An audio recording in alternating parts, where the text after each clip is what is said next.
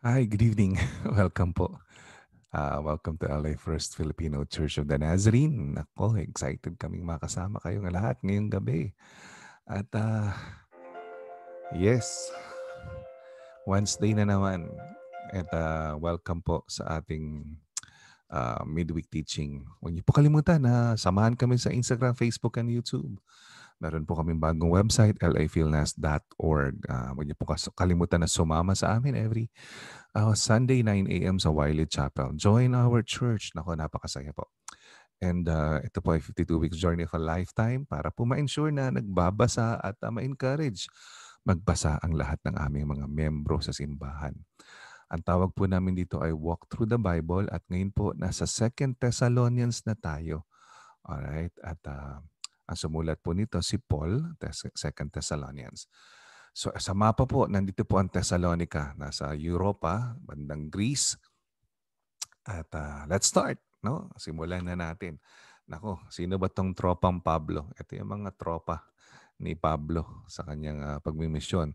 Pero dito si Silas, si Timothy, at saka si Paul ay magkakasama nang sinulat niya itong second te- uh, letter sa Thessalonians ah, sa mga Thessalonians. No? At uh, ito ay pinaniniwalaan na ang sulat na to ay isinulat lamang few weeks after ng first letter.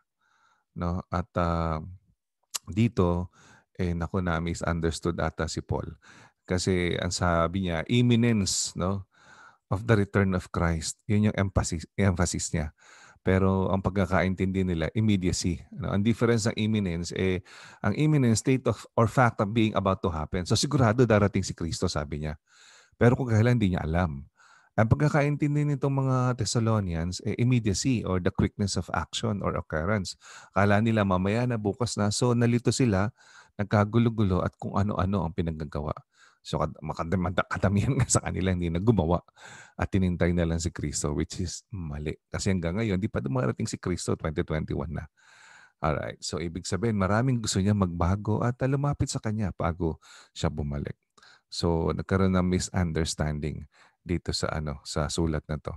Itong short letter na to, maikli lang naman ay uh, nakita natin yung wonderful doctrine ng second coming na isinulat with great clarity ni Pablo. Ano matatagpuan ba natin dito? Siyempre, eh, explain niya dito yung rapture doon sa chapter 2. Pero kung i-outline natin, tatlong chapters lang naman yan. Thanksgiving and inspiration sa chapter 1. The man of sin and the return of Christ sa chapter 2. At uh, exhortations for disciplined living sa chapter 3. So isa-isayin natin yan. Umpisahan natin sa chapter 1, Thanksgiving and Inspiration. So, ano yung unang ginawa ni Pablo? No, nagpasalamat siya at in-inspire niya yung mga nagkakagulong tao doon sa church ng Thessalonica. No, siyempre after ng usual greeting ni Pablo, no, Paul makes a statement of what God has been accomplishing sa buhay ng mga taga Thessalonica. No, Paul had discovered not only does prayer changes changes things na hindi lamang panalangin na pwedeng nagpapabago ng mga bagay-bagay. Eh ganun din yung pagpupuri sa Diyos. No? At uh, siyempre yung pag-acknowledge at pag-encourage dun sa mga taga-Thessalonica. No, in fact, meron tatlong bagay na pinuri si Pablo sa mga taga-Thessalonica. At pinupuri niya rin siyempre ang Panginoon sa buhay ng mga taga-Thessalonica. So una, sabi dito, we ought to thank God always for you, brothers and sisters. So pasalamat ako sa Panginoon para sa inyo, mga kapatid ko. Sabi niya sa 2 Thessalonians 1, 3-4. And rightly so, since your faith, no? una, unang pinuri niya, yung inyong pananampalataya is flourishing. No, yumayabong, sabi niya. And the love each, each one of you has for one another is increasing. No, yung faith niyo, yumayabong yung pagmamahal niyo sa isa't isa ay patuloy na lumalago. Sabi niya, ay kapuri-puri yan. Sabi niya, hindi lang yan pinuri din ni Pablo. Sabi niya, therefore, we ourselves boast about you among God's churches. No? Pinagyayabang namin kayo sa iba pang simbahan ng Panginoon patungkol sa inyong perseverance and faith, sa inyong pagtsatsaga at pananampalataya. Sa dinami-dami ng persecutions and afflictions na dinaanan nyo, na ini-endure ninyo, pero nandyan kayo. Yun. Uh, isang bagay na natutunan ko kay Pablo, no?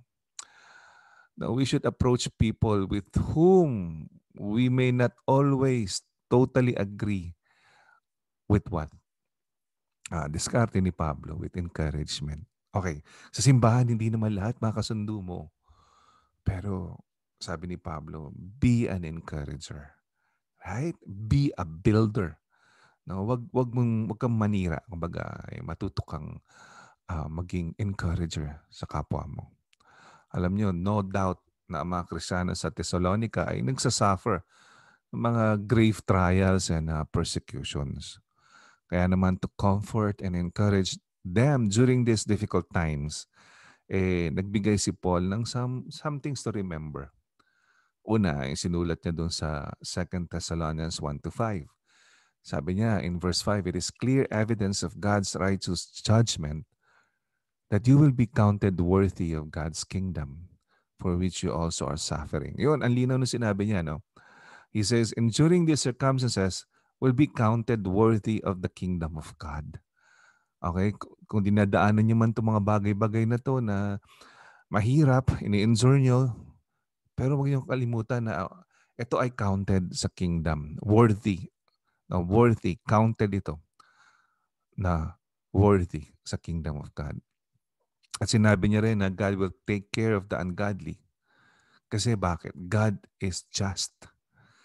Therefore, those who make God's people suffer, who reject God's truth, will themselves be eternally and irrevocably punished at the Lord's coming. Ayan. Sinabi niya, tandaan niyo, parehas ang Panginoon. Di ba? Sinulat niya nga sa 2 Thessalonians 1, 6-9, Since it is just for God to repay with affliction those who afflict you. No, sabi niya, huwag kayong maglala. I-repay ng Panginoon yung mga tao no, na nagbibigay sa inyo ng affliction. I-afflict niya rin. Kumbaga parehas nga eh. Di ba? Hindi lang yun, sabi niya, vengeance with flaming fire on those who don't know God and those who don't obey the gospel. So, parehas talaga siya. Ibig sabihin, equalizer. Okay? Hindi lang yan. Sabi niya, eternal destruction from the Lord's presence, from His glory strength. Alam niyo, when God recompenses, He pays in kind. Kapag nagbayad ng Panginoon, generous. Mabuti ka, kabutihan ng eh, eh, babagyuhin kita ng kabutihan. Uulanin kita ng kabutihan. Babaha ng kabutihan sa buhay mo. Patandaan nyo, God will punish the wicked in the same measure no, and kind that they have persecuted His people. Kaya yung umaapi sa inyo, anak ka ng Diyos, naniniwala ka sa Diyos, mahal mo ang Diyos, may tao umaapi sa inyo, matakot kayo para sa kanila. Kasi God is just. Di ba? Tandaan nyo na nangyari kay Pharaoh. Ano nangyari kay Pharaoh? No, sabi niya, drown the babies of Israel. Sabi niya, you must throw every son born to the Hebrews into the Nile. But let every daughter live. O ano nangyari sa kanya? Ba? Ang linaw dito. So sabi, the water came back and covered the chariots and horsemen, plus the entire army of Pharaoh that had gone after them into the sea. Not even one of them survived. O, di ba? Inaabol nila silang Moses. Inati ng dagat. Inati ng Diyos yung dagat. Nakadaan yung mga Israelites. Nung sinundan ng mga chariots and horsemen ni Pharaoh, ibinalik ni Lord yung tubig. Yun. Wala ni isa man ang nag-survive. Gusto mong lunurin? Nilunod sila. Diba? Just. Just ang Panginoon. May isipin ka, may mag- hindi ka magandang gawin sa kapwa mo, babalik niya yan sa iyo. Kaya matakot tayo. Lalong-lalo na, Kristiyano, ang inapi mo. Kristiyano, ang uh, hindi mo gina, ang hindi mo ginawa ng maganda. Sabi dito, God will punish the wicked. In the same measure, ha? Same measure and kind. No? Kung paano nila pinersecute ang kanyang tao. Ano nangyari kay Haman? Sabi ni Haman, ubusin natin itong mga Hudyo na to. Simulan natin sa pamagitan ng uh, pagbigti kay Mordecai. O ano nangyari sa kanya?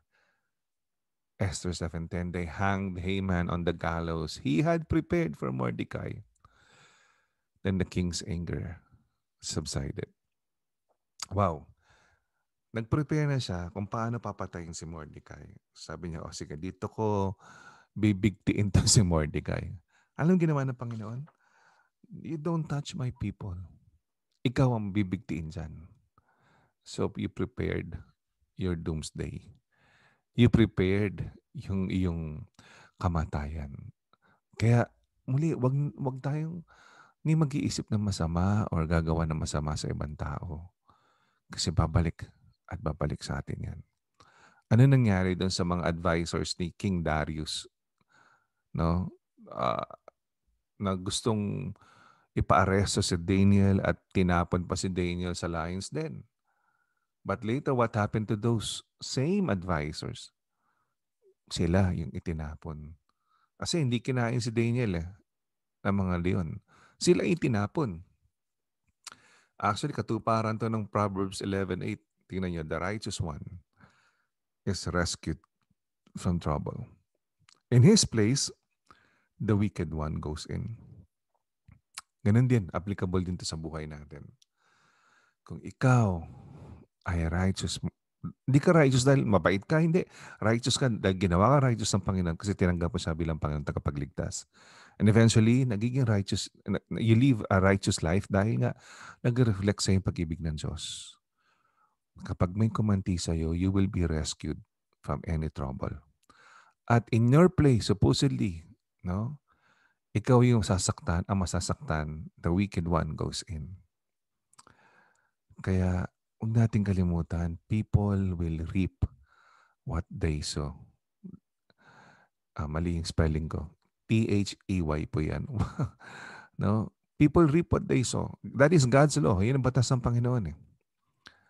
And final judgment of unbelievers will take place when Jesus Christ returns to the earth with His church and His angel. Kaya ngayon, lamang ka, mayaman ka, makapangyarihan ka, mapangapi ka. Pero darating ang panahon sa pagdating ng Panginoong Yeso Kristo. Lahat kayo ay kanyang huhusgahan. Walang karapatan ang tao na manghusga sa sino man, pero ang Diyos ang huhusga sa atin. Sabi niya nga, pag siya nagbayad, generous is very kind. Pero pag siya bumawi, ibabalik niya kung anong ginawa mo doon sa mga taong inapi mo. Kaya kung ikaw may iniisip na pang-aapi o ginagawang masama, tol, tigilan mo na yan. So, matakot tayo sa Panginoon dahil God is just. Okay, tingnan natin. So, verse 2. Chapter 2, sorry. The man of sin and the return of Christ. Ako, ano nun, Pastor, matatagpuan natin dito? Ano maintindihan natin dito? Siyempre, si Paul, no, he begins this chapter doon sa pag-re-emphasize doon sa ano, rapture na siya in-explain niya doon sa first letter sa First Thessalonian. At uh, siyempre dito nga na nagkaroon sila ng pagkakaroon ng uh, ano ba, imminence ba or immediacy. No? Eh, sabi ni Paul, sigurado darating. Pero immediacy, hindi naman mamaya o bukas. Eh nangyari, hindi na nagtrabaho yung iba. dito makikita natin no, na dalawang bagay daw ang matatagpuan o may, ma, makikita or ma, matutunghayan bago dumating ang Panginoon. Una yung apostasy, pangalawa yung man of lawlessness. For that day will not come unless the apostasy. Ano yung apostasy? Ito yung mga tao na masama, hingin ng tawad sa Diyos, magiging masama ulit, hingin ng tawad sa Diyos, magiging sama, masama, eh, paulit-ulit. Kumbaga, nagkaroon na ng kalos na sa puso. Pag nangyari yan, then It's a sign that God will return. At isa pa, yung man of lawlessness is revealed.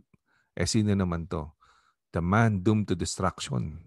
Eh syempre, ang Antichrist. The man of sin mentioned here is the Antichrist.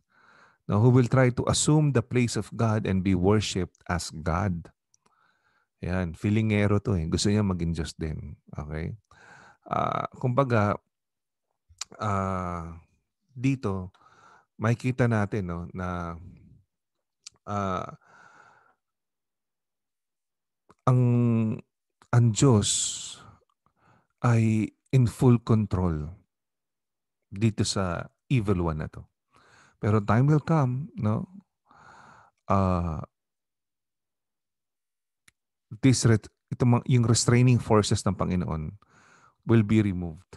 No? At isang tremendous evil ang magigrip sa buong mundo. Then the ultimate victory will come through Christ's return. So ito, mag-roll tong kolokoy na to at uh, i-destroy niya. I-destroy siya ng Panginoon. So wag tayong matakot. Alright? So uh, be assured na ang Diyos natin ay laging in full control. Pero maganda yung pagkaka-explain ni Pablo. No? Tingnan natin sa chapter 3, ano naman yung, uh, kumbaga, pwede natin matutunan dito. No? Exhortations for disciplined living. Alam nyo, when problems are not solved, lumalaki to, nag-worsen to. Parang, infec- parang infection sa katawan. Alam nyo, ang local church is a body no what germs are to the physical body yun ay problema rin sa simbahan. Okay one problem in the church sa Thessalonica is some Christians are so anxious about the coming of the Lord. They have quit they have quit their work no? At uh, kumbaga are just mooching off those Christians who are still working. Eh kaya naman uh, malinaw yung sinabi ni Pablo dito. Ika, ulitin natin. Ano nangyari, Pastor? Dito sa chapter 3, in-exhort ni Pablo, tinuruan niya ng discipline living ang mga taga-Thessalonica. Eh kasi nga, ang pagkakaintindi nila, andyan na si Kristo mamaya, bukas andyan na. So hindi na nagtrabaho itong mga taga-Thessalonica. Marami sa kanila So, pinaalalahanan ni Pablo, sabi niya, in fact, when we were with you, this is what we commanded you. If anyone isn't willing to work, he should not eat. Oh, sabi ni Pablo, bawal ang tamad. the Bible condemns laziness as a terrible sin and teaches every person should work or magiging guilty sa kasalanan na yun. Usually, people who can but don't work uh, become busybodies. Ayan. Ano daw yung busybodies? No? Na kagaya ng sinabi ni, ni, ni Paul. Ang word na busybodies literally means no, to be meddling with or bustling about other people's matters. A person who is too interested in the affairs of other people pakailamera, chismosa. Kumbaga wala magawa sa buhay. Pansin niyo yun, ng mga chismosa wala magawa sa buhay. No? Dami silang time na magchismis, makialam sa buhay na may buhay. 'Di ba? Pansin niyo rin yung mga yung mga nagiging kulto na napupunta sila sa cave, nagsama-sama sila sa isang lugar kasi nga darating na daw ang Panginoon. Hinihintay nila. So they stop working. Alam mo yan. So, Nakalungkot.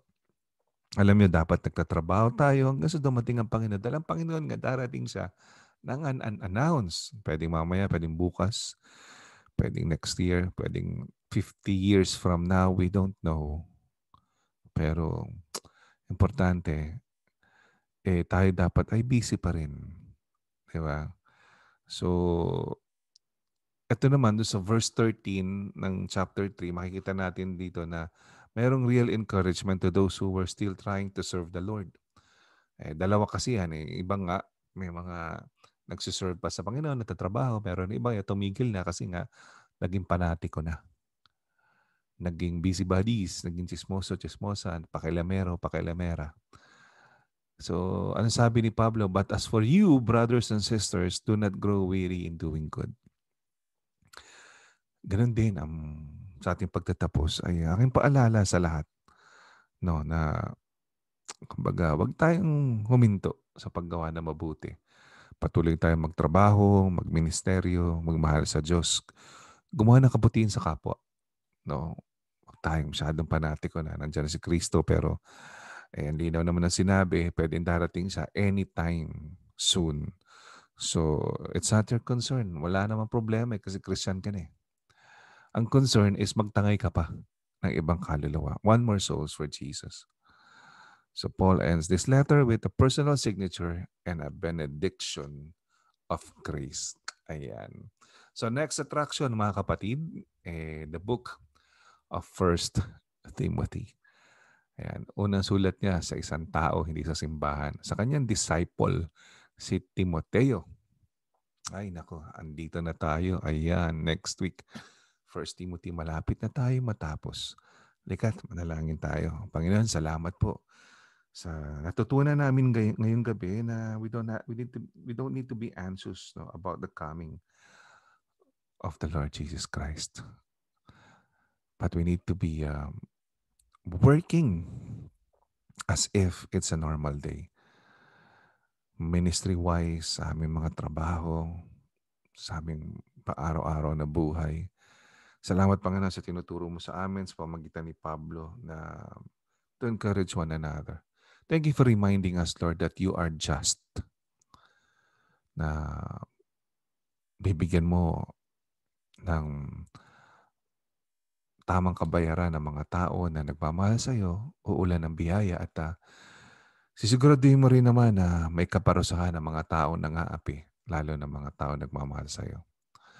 Panginoon, uh, kung ikaw ay nais tumanggap sa Panginoon, uh, maaring sundan mo ang panalangin na to. Lord Jesus, I repent of my sins. I ask for your forgiveness. I am a sinner, but I believe that you died upon the cross for me. That you shed your precious blood for the forgiveness of my sins. I accept you now as my Savior, my Lord, my God, my friend. Come into my heart and set me free from my sin. Thank you, Lord, in Jesus' name. Amen and amen. Salamat Panginoon sa gabi na to. Salamat sa pagmamahal mo. Salamat sa lahat ng protection mo at sa napakagandang buhay na binibigay mo sa amin lahat. In Jesus' name, Amen. Amen. Hayaan niyo po na i-bless ko kayo. The Lord bless you and keep you. The Lord make His face shine upon you and be gracious to you. The Lord turn His face toward you and give you peace. In the name of the Father and of the Son and of the Holy Spirit. Amen and amen and amen. Nako, salamat po at uh, napakasaya po na makita kayo muli sa gabing ito. God bless you. See you next Wednesday and or Friday. Meron po kaming live group sa Zoom. Sunday naman, nako, meron po kaming uh, uh, fourth Sunday celebration ng mga may birthday no, for the month of July. Kung birthday niyo po, punta po kayo sa church namin. Mag-barbecue tayo. And uh, hear the message of God sa ating pagpapatuloy. Ang topic po natin ay Fishers of Men. Ang ating pong uh, series ay The Power of One, uh, uh, Real Life Discipleship Series. Maraming salamat po. God bless you. See you. Bye. Kita kits.